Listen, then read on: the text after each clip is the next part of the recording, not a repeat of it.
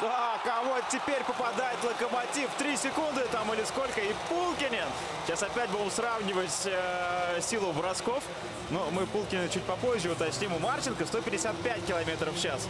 Вот та э, скорость, да, та сила, с которой он забил в первом периоде. Ну а сейчас Пулкинин после выигранного выбрасывания. Да, Полки не нашел свою команду. Мы видим, как он штампует шайбы в этой серии. И такие похожие шайбы забросил, что и Марченко, что он просто расстрелял сейчас а, Линбека. Линбек а, ничего не мог а, поделать. Он вроде выкатился, вроде бы закрыл максимальное а, место, куда могут лететь шайбы. Но тут такая пуля вылетает под самую перекладину, и Пулкинин забивает очередную шайбу.